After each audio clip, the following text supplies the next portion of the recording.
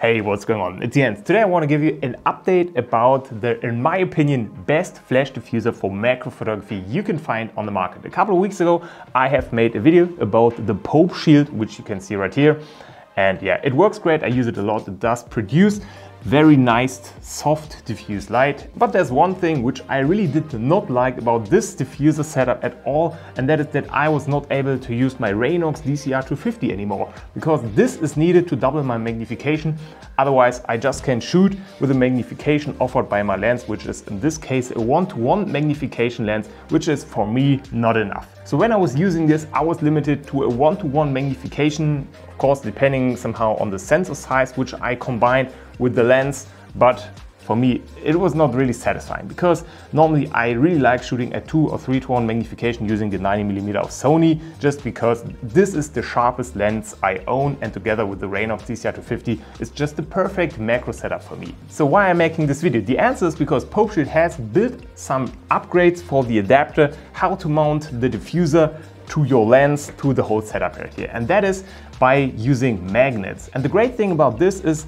that you can easily attach and deattach the diffuser to the lens and also put a Raynox DCR250 between the diffuser and the lens. So let's take a closer look on how this is built and how actually attach everything together so that we can use this as a 3 to 1 magnification macro setup. So after screwing everything together, the Raynox is just held by those three magnets.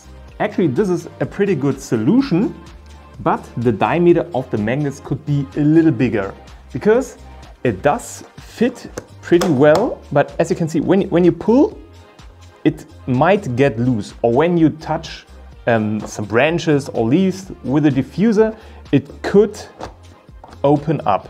And then the Raynox DCR250 might fall off and get damaged or dirty. So it is a pretty good solution, but you have to handle it very carefully, otherwise you could damage your gear. I think the best solution here is just to replace the magnets which you can order at the homepage of Pope Shield.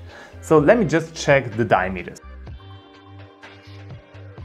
So the diameters which are used to connect and the magnets actually are really strong.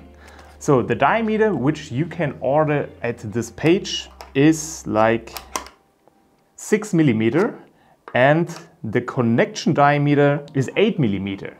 So the best fix for this issue is probably to replace the cylinder magnets with a diameter of 6 by cylinder magnets with a diameter of 8 millimeters so that everything is perfectly tight. I've just checked Amazon and the 8 millimeter magnets cost about 5 euros so I think I'm gonna replace them and then I have finally found for me the perfect macro setup. So I'm really interested what you think about the setup, if this might be interesting for you, especially with the magnet solution that you can also double the magnification by using tools like the Raynox DCR250. I really hope that you enjoyed the video. Thanks for watching, have a good day and hopefully see you on the next.